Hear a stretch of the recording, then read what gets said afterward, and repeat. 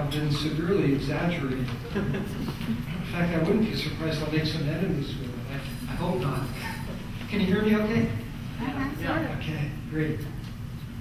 Well, uh, as, uh, as advertised tonight, I, I'd like to take a little while talking about the future of astrology as a profession. Now, uh, we look at the uh, offerings at a, a, conference like this one, like uh, NORWAC, and uh, we see an awful lot of essentially rather theoretical material, which is absolutely wonderful and, and, and fine. It's how we, you know, we, we keep growing, we keep the, the edge advancing by, by discovering in, in powerful but kind of nuanced elements in this language that the, that the heavens have offered us. So uh, theory, absolutely fine. But we see far fewer classes in the the how-to dimensions of actual astrological counseling, like the, the realities of, of applying this theory uh, in the, the real life situation that so many of us face as, as professional astrologers, which is here we have a, an intelligent, open-minded human being who knows nothing at all about astrology and is sitting before us faced with a, with a, a human situation, a human dilemma and I, I, I think deeply about this, just how, how terrifying it must be for a client to come in and, and just sit with a person who can read their beads, just totally read their beads. And, and the, the, where is the where is our, our study of, of the actual presentation of this kind of material in a way that allows the client to, to feel safe and, and heard? Like, uh, you know, the client sits down and, uh, and we take a look at the chart and say, uh, you know, your mother never wanted you. and, you know, it's even worse if we're right. and because of the power of astrology, we might very well be right. But, you know, what happens to the relationship in that moment? I, I wonder why there is so much emphasis on, on essentially a kind of abstract intellectual understanding of astrology without the, the corresponding focus on how to make it palatable and digestible to human beings who might actually come and, and help us make our, make our livings. I have a, a, another, uh, another observation along fairly similar lines where uh, imagine, uh, you know, given the realities of of, of, the astrological counseling situation, which is, you know, really the definition of profession in practical terms for most of us, you know, making our livings working with people one at a time. There are other options, but they're like trace minerals in the, in the astral economy. So we, we find that, that we have learned, uh, learned this incredibly exciting stuff about the, the uh, tertiary converse progressions of the asteroid Hygeia to the midpoints of the Uranian planets, you know? And you know, maybe it's really cool. And it came across very powerfully and effectively in a lecture that we heard. And, and we find that we have we have maybe two hours with a client. And and we have we've spent 47 minutes, you know, on, on that tertiary progression. and you know, we still haven't mentioned that transiting Pluto is opposing your moon. Oh, you know? And then finally, we, we, we have uh, two and a half minutes left to talk about Saturn, you know, going to conjunct their sun in six months. And this is not to make fun of the study of the tertiary converse progressions of the asteroid Hygeia, which might actually be quite effective and interesting and helpful, but it is a lousy sense of strategy in terms of what is important. So I, have often said, and sometimes to the chagrin of some of those who hear me, that, that uh, the, the simplest and most basic kind of astrology is where 90% of the bang for the buck goes in terms of actually making a difference in, a, in a, another human being's life. And there, the, the theoretical understanding is the easy part. The, the understanding about the skills for presenting this material in a way that is comprehensible and palatable to an individual who knows nothing about astrology and isn't particularly interested in learning how to be an astrologer. Why don't we focus more on that? How often do you see classes in that subject offered at conferences? You know, and again, this is in no way a criticism of what is offered in conferences, but I think it is the beginning of a statement about uh, uh, a, great um, unexplored continent of possibility in terms of, of, of, establishing the foundation for the future of astrology as a profession. Because the bottom line is how to reach people with it, how to make a difference in people's lives. And we, we can do that, but we just don't seem to talk about it very much. So we see in the prospectus for an astrological conference uh, a triumph of the theoretical over the practical very often. And uh, maybe a nice, uh, a nice draw between the theoretical and the practical, a good Libran balance between them would be um, a, a, better goal.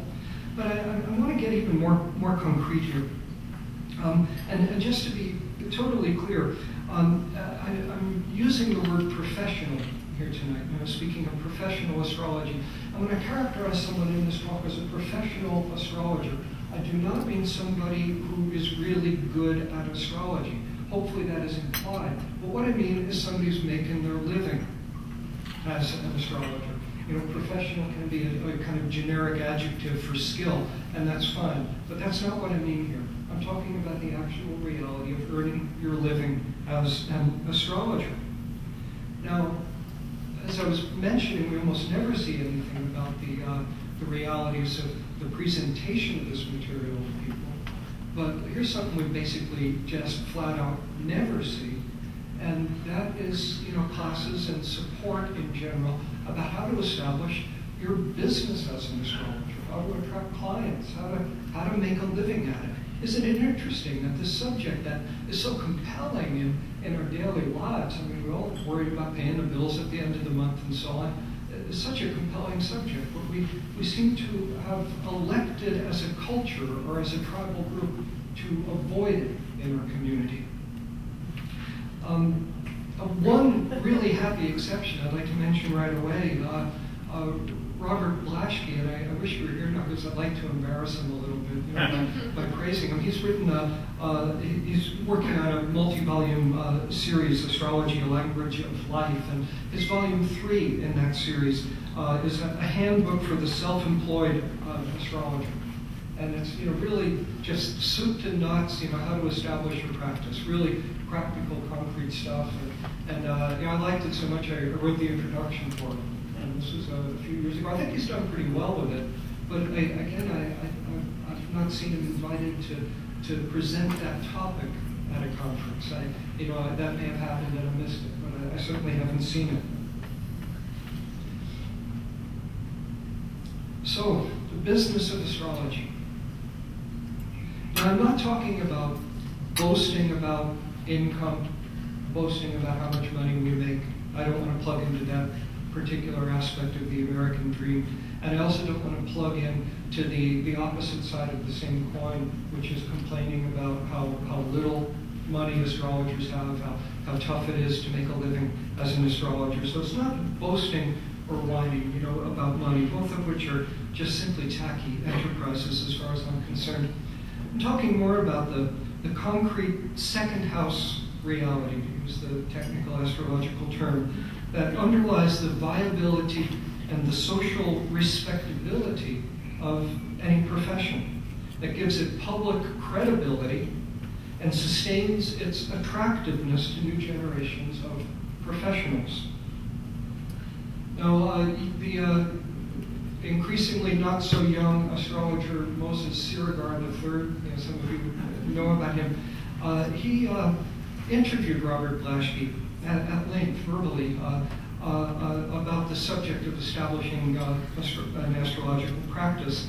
And then he did a, joint telephone interview um, with Bob Mulligan, who's a really fine professional astrologer, the, the ravishing and intelligent Chris McRae, and, and, myself. Just a, a nice four-way phone conversation with Moses kind of modulating it, simply about the, the business of of making an astrological practice fly. Uh, I, I, recommend this interview for anybody who's interested in, in making the transition, you know, from uh, away from just simply studying astrology for the joy of it and the personal growth of it and into actually making a living with it. As we, we focused on an awful lot of the real nuts and bolts realities of, of how to actually do it. This interview is, is available on uh, Moses Siregar's website, which is uh, uh, www.astrologyforthesoul, all one word, astrologyforthesoul.com forward slash success. Uh, that's where he has it listed on his website. It's a, it's a CD, and I, I think you can probably download it if you're interested. Now, I've been making a, a good living solely as an astrologer for about three years. Never had any family money, grew up in a three-room apartment, walk up in New York. You know, it just didn't come from a professional background, didn't come from, from any kind of money. And then, you know, doing something that is, is actually not all that common in the world, which is actually just paying the bills in a fairly comfortable way, week by week, month by month, as a professional astrologer. Now, when Moses Siregar approached me to, to be interviewed about how I pulled that off, it was the first time anybody in the astrological community had ever asked me that question. Isn't that interesting? I mean, I've been asked privately, you know, people who are trying to make the transition, you know, wanted some insight and some support, but, but never publicly. And, you know, I'm not offended by that, or it's, it's not, not like that at all. But isn't it interesting that in our culture, that seemingly fascinating and certainly compelling subject just doesn't come up? And why? Seems like it should be an interesting subject because uh, you know, it's your survival. Doesn't come up. Taboo. And underlying everything I'm saying is this utterly Capricornish point that if astrology is going to have a future as a profession, it is pivotal that we get the message out there to the public that it is a profession. Simply that. And that means lots of people, you know, the masses in the world, simply knowing that a whole bunch of intelligent people are paying professional astrologers for their sophisticated and personalized services. It's not looking up on the internet what's going to befall all the Sagittarians in the world today, you know, but sophisticated and personalized astrological services that are worth money to intelligent people. You know, if, if it were understood that, that that reality existed, our world would be transformed very quickly.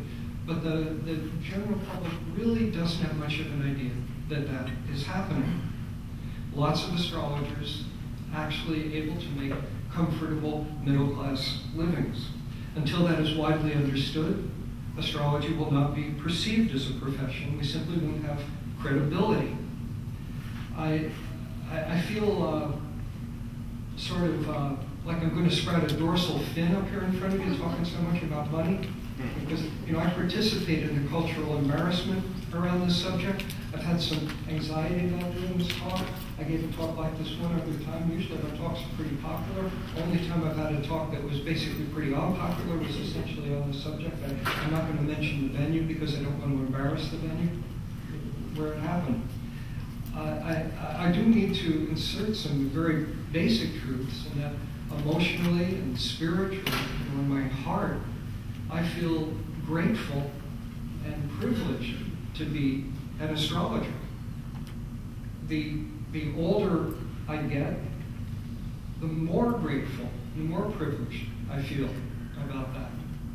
You know, I, I remember, uh, you know, being a, like a younger astrologer in my 30s, and you know, I, I was making it, but you know, I wasn't wasn't getting rich you know, just kind of paying my bills and doing okay. And you know, sometimes I I have some some anxiety, thinking, you know, gosh, you know, I could spread a dorsal fin too, and and you know, become a corporate lawyer or something. No. no, with a haircut, I clean up. Never seen me with a haircut. Top of my get some sense of it. I came to a crossroads in, in, in, my life, and this is in my late 20s, and wow, it was, what a charged moment this was for me.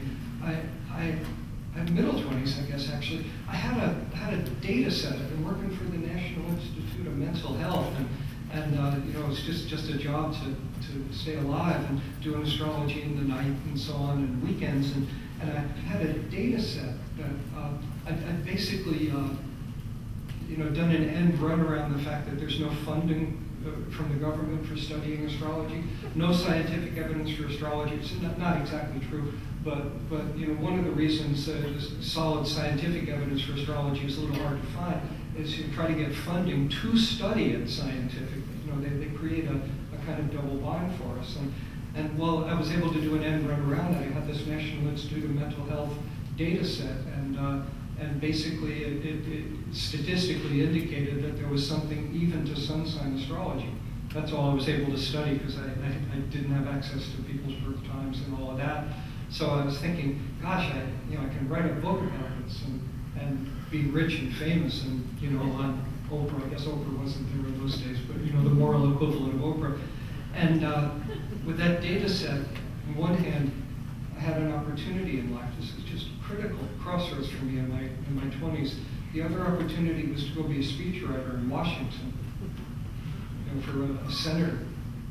Why? It's kind of a long and complicated story, but, you know, and, you know, there was, you know, a life of uh, power, glory, riches, and, you know, sucking up on the trough of the public welfare. And, uh, speechwriter in Washington. It was for a Democrat, too, you know. so I wouldn't go to hell, just purgatory. but, you know, I, have been driving uh, you know, there, you know. So I, I, chose to write a book, you know, about the, the uh, my statistical study. And, uh, you know, the book never got published. I'm kind of actually glad it never got published because I don't want to get known as a statistical astrologer. That's not really what I am anyway. But it was that fork in the road. And, and it, I guess the reason I'm, I'm, putting this little bit of autobiography in it is that, you know, there I was torn between uh, a kind of conventional path in the world and, and the life of an astrologer. And it was a hard choice for me at that time.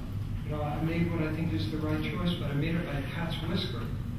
You know, because the temptations of the more mainstream life were, were pretty strong. And now I just think, oh, thank God. You know, here I'm 58 years old, and I never, never questioned the meaningfulness of my life. I mean, hallelujah. You know, because,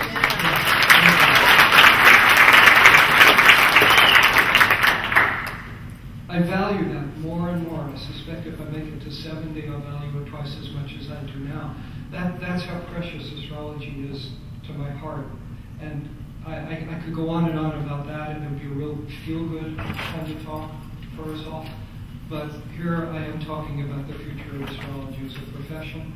And in realistic terms, it is impossible to discuss the word profession while systematically avoiding the subject of money and making one's living. It's not an honest way to talk about profession. So I, I do want to come back to that somewhat uh, less comfortable topic.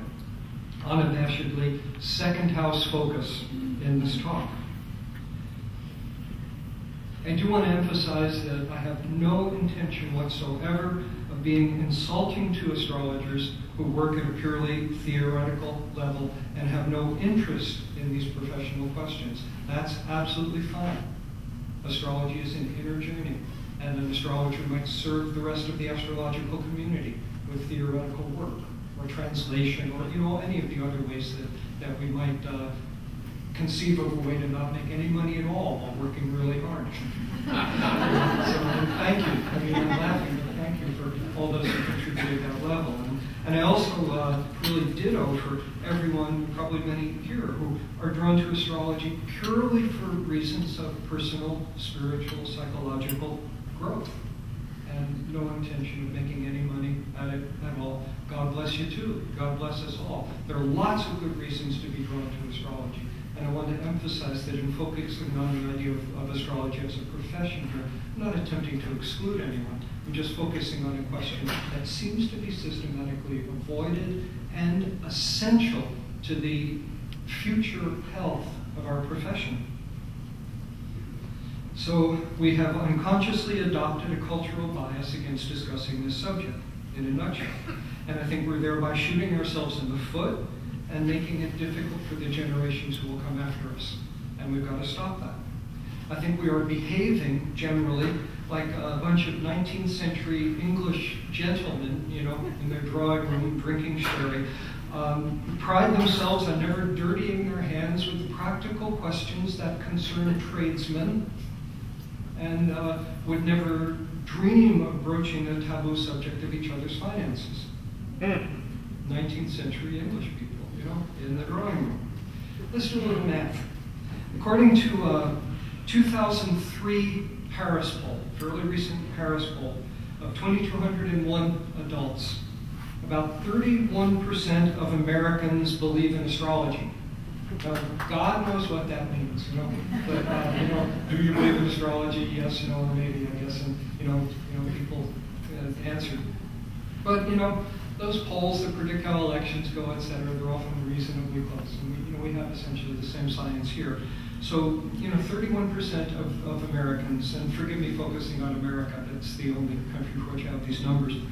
Um, there are now about 300 million Americans, not, not counting the 275 million Guatemalans. Ah. and some, some of those are my friends. So 300 million Americans, 31% of 300 million people is 93 million people. So you've got 93 million people, and it's silly to take these numbers too seriously, but impressionistically, 93 million people in the United States of America who profess to believe in astrology. That's a lot of people. 93 million. Wow. Now, according to Stephanie Clement, of, uh, she was speaking for the American Federation of Astrologers, uh, Americans spend about $200 million a year on astrology. $200 million a year. This is a quote from, again, Stephanie Clement, quoted uh, by a, the Bloomberg uh, news service. It was in a sidebar uh, to a story in the Seattle Times uh, for August 26, 2006. That's where I got, got that information. I don't know where Stephanie Clement got these figures, you know, the, the uh, 31, well, the, the, the uh, $200 million. But it certainly sounds like a ton of money, doesn't it? $200 million. But what it really means when you think about it, it gets a little depressing. Those 93 million people who are our potential customers as astrologers are annually spending an average of $2.15 each. and you, can get a, you can't get a, a cup of coffee at Starbucks for $2.15. Would you call this a successful market outreach on our part? $2.15. What are we doing wrong? Uh, Amazon uh, carries uh, more than 48,000 titles that touch on astrology. You know, touch on it. So about 48,000 titles publicly available on Amazon. You get astrology on Yahoo's front page, you know, AOL, etc. It's everywhere the 93 million figure is really plausible to me as far as the, you know, the people who are interested in it. Let's go a little further with the numbers. Uh, there are more than 10,000 full-time astrologers in the United States and up to 175,000 part-timers. And again, this is all according to that, that article from uh, Stephanie Clement that was quoted in the Seattle Times. So 10,000 full-time astrologers, 175,000 part-time astrologers. The, all of these numbers, you know, starting with the $200 million and down to the numbers of professional astrologers, I, I, I do think we really have to understand that they're quite impressionistic. Just to get a little reality check on this, I, I, I shot an email to my friend Kelli Fox, who, who was behind astrology.com, you know, some years ago doing different things now, just to ask her are these numbers real, because I know she's try, constantly trying to like pitch venture capitalists to get, get money to, to start, you know, internet kinds of businesses. So, you know, she has to be able to entice them, you know, with, with uh, you know, hard numbers about how much money they might be able. So uh, this is what, what Kelli wrote back to me. Um, there are no market size numbers for astrology in the US or internationally, which is a problem we have been having in terms of reaching out to the venture capitalists. We have been pitching on the potential. It's like putting a wet finger to the wind, really. Sorry, I can't be of more help. and this is a woman who's actually, you know, made a, quite a large fortune with astrology. The numbers aren't out there.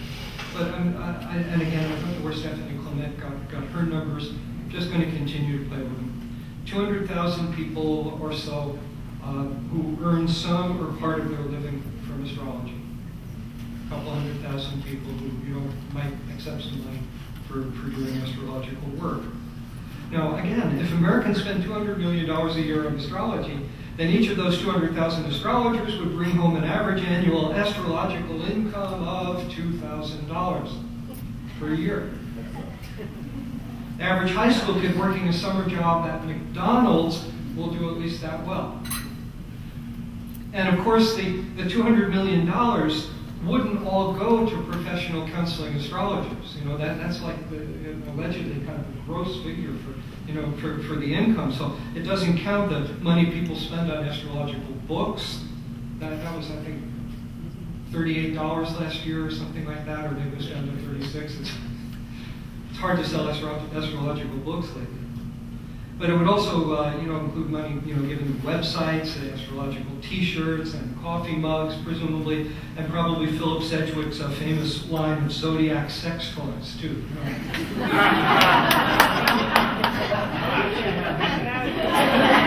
and a whole collection. Boys and girls' versions. Philip is going to run a, run a workshop at midnight tonight. Now, actually, you know, I don't think that the situation, the business situation for astrology could possibly be as bad as these numbers suggest. I, really don't think it's nearly this bad. I suspect that $200 million figure is actually way, way, way low.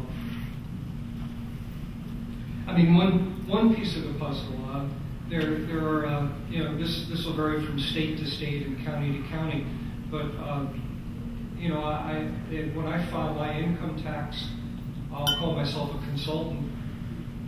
You know, why should I incriminate myself in the county in which I live, you know, by confessing to the feds that I'm breaking a, a county ordinance by practicing fortune telling? You know, so, you know, I, I'm happy to play, the, well, not happy, but, you know, smart enough to, to not, you know, announce loudly and publicly that, you know, I'm, I'm, I'm breaking, uh, I'm guilty of a misdemeanor. And I, I, I, doubt I'm the only astrologer in this kind of situation. So right away, the incredible difficulty of figuring out how many people out, out there are actually making their livings as astrologers. Many of us will call ourselves something else. But I, I don't want to belabor you with uh, too much uh, autobiography. But um, the fee for my own astrological readings, probably slightly at the high end of the market because I'm pretty well known about it, but my fee is $275 and I, I do, uh, uh, if I record a reading, it's a couple of hours. It's kind of a little longer than average, probably. If I'm sitting with a human being, I'm probably going to go more like maybe two and a half hours for that, that $275. So the fee's probably per hour, not that far off from mainstream astrological numbers. But you know, I'm, a, I'm a Capricorn with Saturn and Virgo on the midheaven, so I bang my head against the wall on a daily basis. And, you know, basically, uh, it's a slightly more complicated than this, but I essentially do uh, two of those astrological readings each day for five days out of the week. I'll do about 10 of those readings in a week. And that's my income from astrological counseling. Uh, Jodie and I uh, sell our books and, and, our recordings of our lectures as well. We have our Seven Paws Press, and, and I teach some, and, and have my apprentices. And when I'm teaching or writing, obviously I'm not doing reading, so there's some, some kind of trade-off between them. But the point is, you can do the math and take a, take a pretty, pretty accurate plus or minus 10% guess about my, my annual income. Uh, of course, I've just broken a huge taboo by even saying that. You know, even socially, we're, we're kind of discouraged from, from mentioning things like that. That's a delicate subject. Well, you know, Jodie and I own a home. We're building a second one. Got some money saved up for old age, and I look, look in the ephemeris, and I see I better start spending that money. Got that second Saturn return coming up. That's probably what I'm talking about all this stuff. Try to be an elder and you know make it safe for the next generation to come up. And, you know, learn some of what I've learned. I mentioned that joint conversation that uh, Moses Siregar re recorded with, uh, with Chris McRae and Bob Mulligan and myself. Now, on, on, on that CD, um, Bob Mulligan went public with, with his annual income. Chris elected not to. And uh, uh, out of, out of the, the sheer gentlemanly delicacy, which I am decrying in this talk, I'm still not going to mention the income figure that Bob Mulligan admitted publicly uh, uh, in this recording. But if you're curious, you know, buy the CD. Uh, but uh, Bob Mulligan uh, makes considerably more money than I do. He's not really a famous astrologer. He's kind of known in the astrological world for his, his work with the Old Bible Organization for Professional Astrologers. He's a wonderful man. to me, Bob Mulligan is the very archetype of a professional counseling astrologer. Uh, he is incredibly skilled and competent at what he does. His community, communities actually travels around to value him. He's never much played the famous astrologer card. You know, my hat is just off to all the folks like Bob, who are out there in the trenches, you know, helping their clients day by day, never uh, experiencing the uh, incomparable glory of standing here at the podium in NORWAC, you know, hobnobbing with stars like Madonna and Laura Nalbandian, Philip Sedgwick, you know. Great. But, you know, I, I had no idea how many people are out there like Bob. You know? That 10,000 figure, 10,000 full-time astrologers, as they say, it's, it's conjectural. It's probably way off, but, but I know that, that, that, that some of them right here in this room now, you know, people making a living doing this. I know from my travels around the country, it's kind of a nice side effect of my work. I, I get to get pretty intimately connected with a lot of different communities. I have this strange feeling, I put it into words one time, I, I don't feel like I live in North Carolina, I feel like I live in North America. Just because I'm, you know, have intimate, ongoing relationships with, with, with people and, you know, through the astrological community. Kind of a nice feeling. Uh, and I know from my travels around the country that basically in every town or city where I, I get to know the astrologers, there's always a, at least one or two astrologers who, who seem to stand out in their communities, who are, are honored above the rest, who are making, making their livings at it full time, who, who have all the clients that they can possibly handle. You know, these are the people who have really internalized not only the theory, but also the practical reality of how to build the bridge to those intelligent folks out there who don't want to learn astrology, but just want to be helped by it. And, you know, these are the people who so often are, are unsung in our community. Many of them I have discovered, this is impressionistic on my part, but many of these people don't really seem very excited about coming to conferences. You know, many of them have never been to one or went to one and decided that it was a waste of time. Now, I, I don't share that attitude, but I, I do report it. And you know, these are folks who, in my opinion, should be teaching at conferences because they know something that the rest of our community really needs to know. This piece of the astrological community that's represented by the, the, the part of the tribe that goes to conferences is not a representative or random sample of the people who do astrology out there in the world. Our, our biases away from the practical and away from the counseling context have made our community and our mythology less appealing to those people. We can put out the welcome mat, I suspect they, they, they will be here.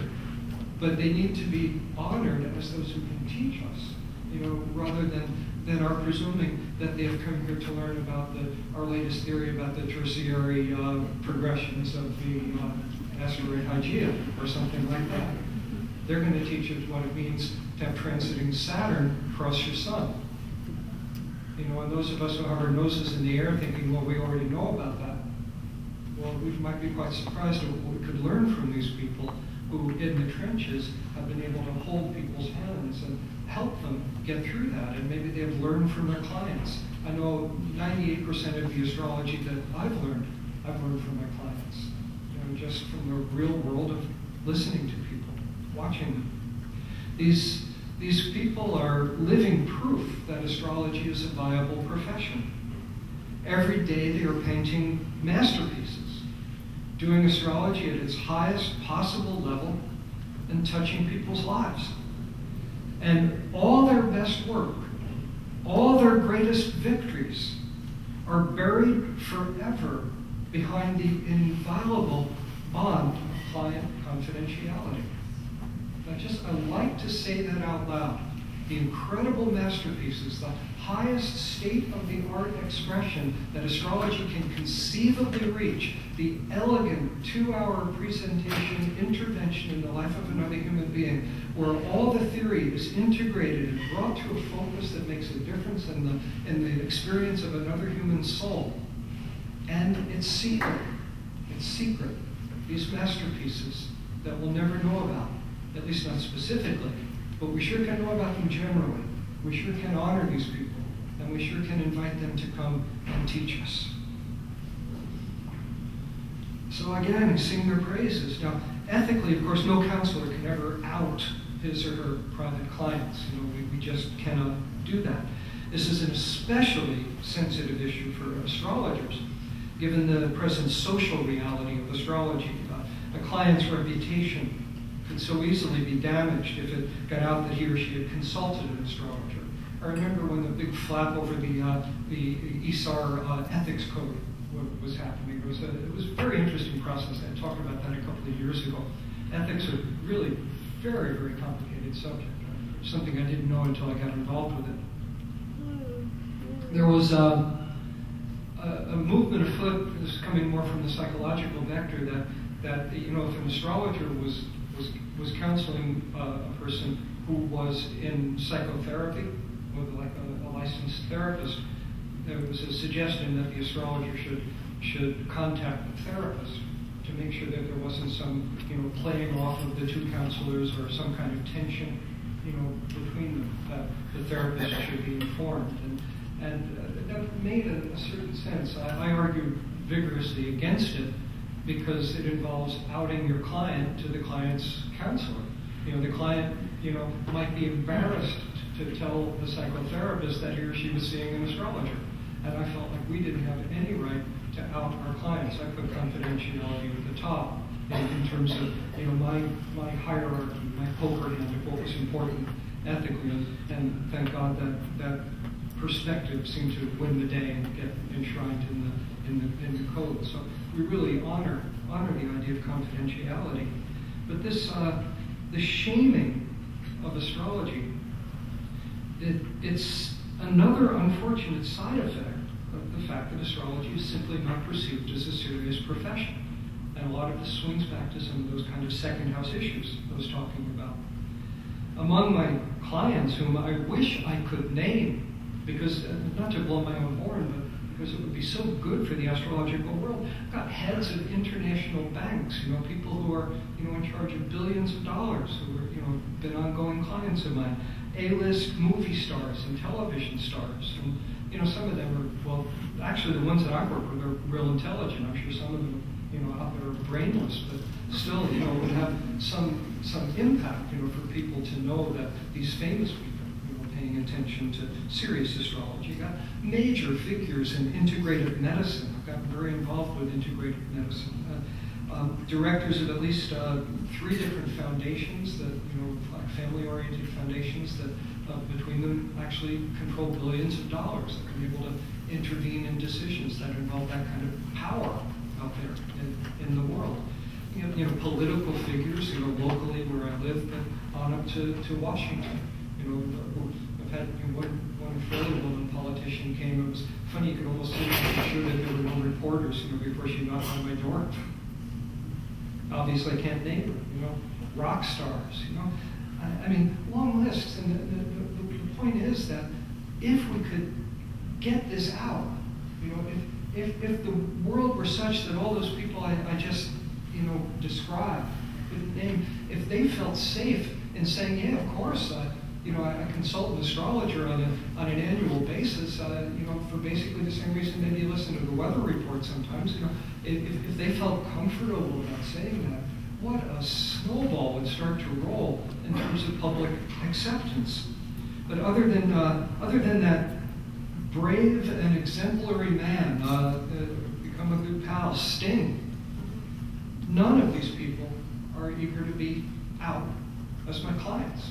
And, and in fact, I, I, on almost every occasion, I haven't even asked them because it's just been understood that, this was very, very private. I completely understand why. It practically puts tears in my eyes. Now, you know, all this, you know, it's not about my ego. You know, I am 58 with a Sun Jupiter conjunction. My ego has fattened enough in this life. You know, you know, baseball has been very good to me, and so, you know, and I'm trying to be a good Buddhist. So, you know, I, my ego doesn't need to get any fatter. I, I'm talking about how to jumpstart a reaction in the public mind, one that makes it safe for not only famous people, but just smart middle of the road people to admit that they take astrology seriously. They're scared to talk about it. And I think that's at least partly our fault. Now, you know, I'm just one astrologer, and I, you know, I know that there are many, many other professionals in our field who work with the movers and shakers of the world. You know, I multiply myself by a by a large number. And, you know, who knows how many pies we have our finger in out there. But it just never, never comes out, never gets talked about. If every, all those well-known people came out at once, you know, at, you know, one time, wouldn't that be great? Well, you know, pigs could fly. You know, it's, it's really very much the same kind of situation. It's not going to happen until we take ourselves seriously as professionals and convey that confidence to the world. Now, this has not been a technical talk about astrological techniques. The only technical reference I have made at all, even slightly, is to the second house. And let's dive into that for a moment. As everyone learns in Astrology 101, the second house is uh, one of its common associations is the house of money. And uh, experience teaches us that this is a valid interpretation of the second house because something transits into your second house or progresses into your second house, and, and your financial picture probably undergoes some matter of fluctuation that is consistent with the nature of the planet that has entered the second house, or is aspecting the ruler of the second house, or you know, however you want to look at it. Uh, experience has, has taught us that the second house is sensitive to, to, to finances. Now, from the point of view of evolutionary astrology or psychological astrology, the second house would be about money, but, but it also includes the more psychological notion of your self-worth, your sense of your, your dignity, your confidence in yourself. These two ideas, money and self-esteem, are very closely related. We just observe the, the brittle kind of shame that poverty engenders in how, how uh, apologetic and, and demeaned we feel if, if we're poor. And we occasionally observe tremendous ego inflations that go along with great increases in wealth. I'm thinking of uh, the Devil's Dictionary from 100 years ago, Ambrose Bierce, and, and included uh, the, the, the rich man's definition of wealth, the word wealth. And the definition was, this is a sign from God indicating, this is my beloved son, whom I am well pleased. they laughed 100 years ago, then along came the New Age, and for a while nobody laughed. Now we're laughing again. so, our self-worth and our net worth, idealistically, we might like to decouple those. We might, with good basis, recognize that that there should not be shame in poverty. But when we understand the human reality of what struggling with poverty means or struggling with wealth means, either of those, the way they interact with the issue of self-esteem in an inflationary or deflationary kind of way. Now, so these two notions, self-esteem or dignity, and the finances, deeply linked. Now, backburner with that for a moment. Uranus has passed through Aquarius. You know, that, that's over and done. I guess uh, the, even the Vedic folks are beginning to agree with that statement. We're getting close. four or five years, uh, Neptune's going to leave Aquarius too. Now remember when when we were anticipating uh, Uranus and Neptune entering Aquarius, you know, some years ago. There's a, a lot of us, my, myself included, um, we were predicting that this might bring much wider public acceptance to astrology. It seemed like it would be good for astrology because we always tended to associate the sign Aquarius with astrology, and I, I think there's some validity in that association. But this, uh, uh, you know, it's hard, it's hard to know. Uh, has, has there been uh, an increase in astrology's public acceptance over, you know, the, this, this recent period? If so, I don't think it has been dramatic. Uh, I'm inclined to think, if anything, we might have lost some ground. I, I don't feel good saying that, but uh, I, I, certainly haven't seen the great increase that, in support for astrology or interest in astrology that, that many of us anticipated. And meanwhile, disturbingly to me, confusingly to me, the astrological world itself under these Aquarian energies has fragmented into a, a Tower of Babel. Uh, it's a chaos of mutually incomprehensible systems. I don't know what to think about this. You know, we have modern Western astrology, still probably the mainstream language. You know that that you know most of us will, will have some familiarity with just mainstream Western astrology, what we has, used to call modern astrology, although the word seems to be losing traction a bit.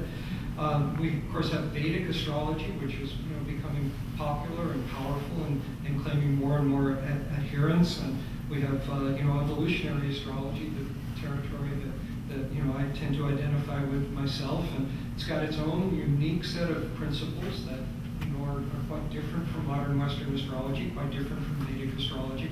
It's not just a different philosophy, there are different techniques within it. Uranian astrology, cosmobiology, the, uh, the various uh, Hellenistic traditions, the, the, uh, the various Renaissance traditions, which, uh, as I gather, I'm no expert in those territories, but they seem to be fairly mutually incomprehensible too. We barely speak each other's languages anymore.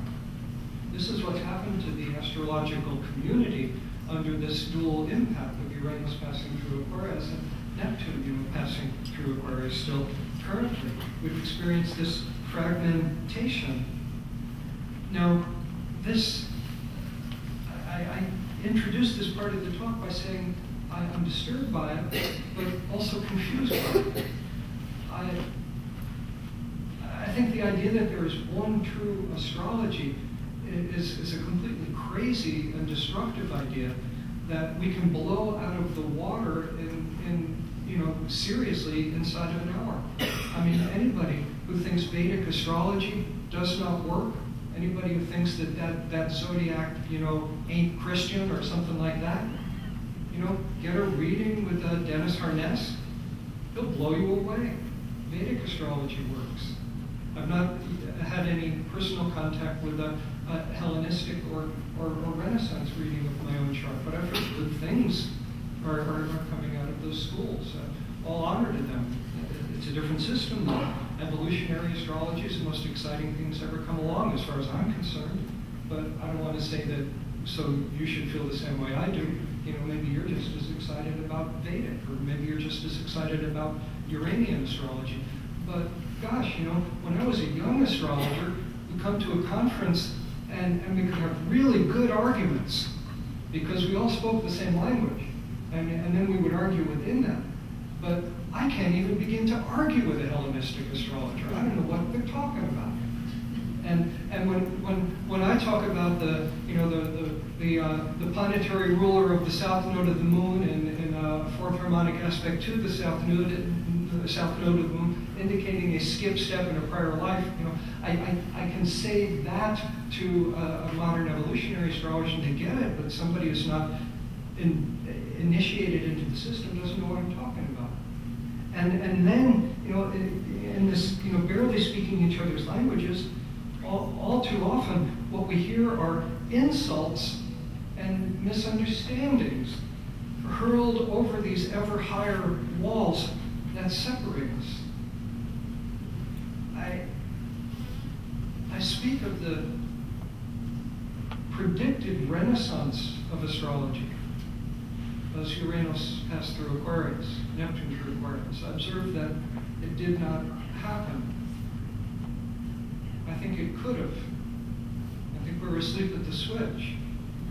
I think one of our mistakes was fragmenting so much that, that, that we, we wound up with a war with each other rather than reaching out to the world. And I think we have completely dropped the ball as far as supporting astrology as a practical trade. I don't want to make that word dirty. As a profession, as something we can do in this world, help people and make a living doing. It. Now, you know that old uh, chestnut about the academic world, you know, about why, uh, you know, academics tend to be so nasty to each other, they backstab each other so much and behave the way they do, and the answer is because the stakes are so low. I mean, it, it, it's a dirty, dirty jam at, at, at, the academics of the world, but it, it, does get a chuckle, you know, because the stakes are so low. That's ghetto behavior. Most of us know that ghetto behavior is driven by those two intertwined second house specters, poverty and low self-esteem. The great drivers of the, of the typical ghetto mess. So what can reunite the astrological community without sacrificing our diversity of voices? Because that diversity is not going to go away, I don't think. Well, in the heart of every astrologer with whom I would enjoy sitting down and having dinner is a feeling of wonder and gratitude that the heavens say something about the human soul. If we don't have that in common, we're not astrologers. And we have a compelling desire to share that, that squealing, healing feeling with as many people as are willing to listen to it. We're excited about it because of what it's done for us, and we want to reach out and touch some other people with it whatever astrological language we may be using in order to accomplish that end. This is professionalism, where we're united by the impact of the craft upon the end user rather than our ability to play one-upsmanship with each other or out-technical each other. This professionalism is the spirit that can unite us. This, this faith in our work and in ourselves that triggers in us a reaction of generosity towards the human community, and that generosity cannot exist towards others in the larger community unless we take two steps first.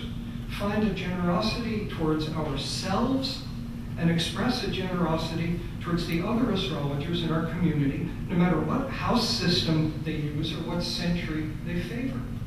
Generosity. Let's claim this dignity. Let's not flinch from one important piece of this process, where we must allow the second house logic, core second house logic, to teach us that we cannot have this precious dignity so long as we make financial questions a taboo. Because money and self-esteem are intimately and irrevocably bound together in the logic of the second house. Our taboo about looking at this underlying second house foundation of astrology as a profession is undercutting our capacity to be generous towards ourselves and towards each other. We've got a domino theory kind of thing. We've got a, a descending spiral that can turn into an ascending healing cycle. And that's what I'm talking about. The second house is a unified field. You can't have part of it without having the whole thing. We don't need to be rich. That's not there's, there's enough richness in what we do. But if I had to design a curse for my worst enemy in this world, I've got a few possibilities, and some of them not too repeatable in a nice society like this. But, but, but one of my favorites that I would say publicly is, uh, may you have a job that pays you only money. but thank God, if you're making your living as an astrologer, you're rich. And how I changed our approach. I remember the first time I did it. I charged somebody five dollars, you know, and uh, you know I had like a cold sweat. I wasn't going to be worth it, you know. but you know, the first time you charge somebody a little money for a reading, you take yourself more seriously. You're thinking of yourself as a professional. You know, you've got to work a little harder. You've really got to do your best. We also recognize that age-old observation about how the, the client will typically take the information more seriously if they have paid for it. And so you get that synergy of the person appreciating it more and you doing better work, all because a $5 bill went from one person's wallet to the other person's wallet. Or nowadays, maybe it's a little more than $5. There's the second house. The, the exchange of the, of the money with the issues of dignity and well-being and generosity, all bound up into the transaction. It's time we got over being 19th century English gentle people. Uh, please don't think I'm saying it all comes down to money. It, it, it does not.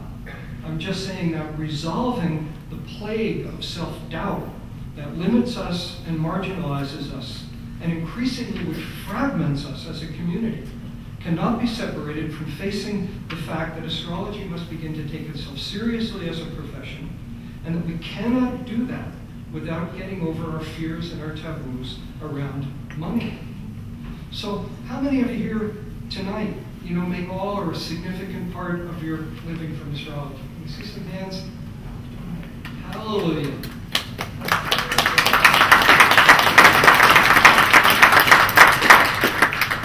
I just want to say thank you, you know, for all of the victories that you've had that nobody will ever know about, all of the differences you've made, all of the souls you have touched. Thank you so much for dedicating your life to this scary and wonderful path that we call astrology. I hope that by the time I'm really old, there's 10 of you for everyone that we saw tonight. So thank you.